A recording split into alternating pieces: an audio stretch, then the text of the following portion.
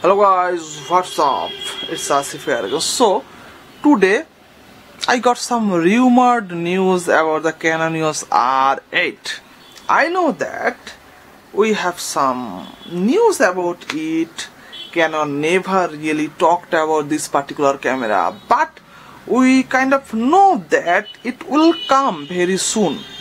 It is the end of 2022 so it will not come in the 2022 so in the second or third quarter of 2023 we can get the Canon EOS R8 because we got the Canon EOS R7 we got the Canon EOS R10 so there will be something later than that and better than that. So let's go to the latest rumored specification of the Canon EOS R8 so first of all we will have a 30.3 megapixel sensor.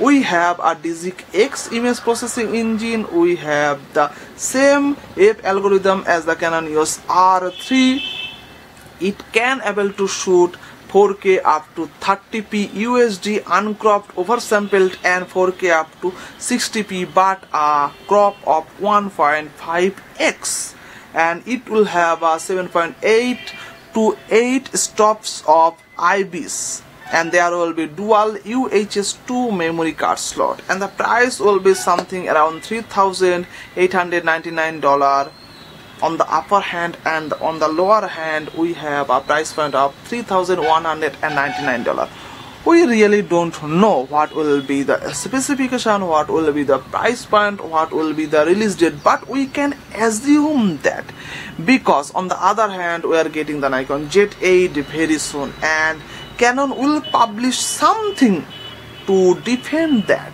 to battle with that.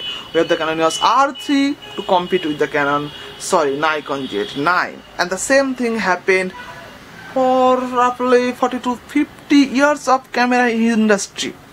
We have the Canon, we have the Nikon battle each other. Right now, we have the Sony middle of this. So Nikon, Canon, Sony. So we have the Canon EOS R8 very soon. When? I'm not sure. My guess is the second or third quarter of 2023. And just wait and see the development of the Canon industry. Let's see when actually when we can get this particular camera in our hand. So that's basically all about the Canon EOS R8 and just let me know your opinion that what you will love to see in the Canon EOS R8 or the next camera that Canon announced what do you think that Canon will name the camera in the next one? So let me know your valuable opinion also in the comment section below. I love to know from you guys. And goodbye. Have a nice day. See you soon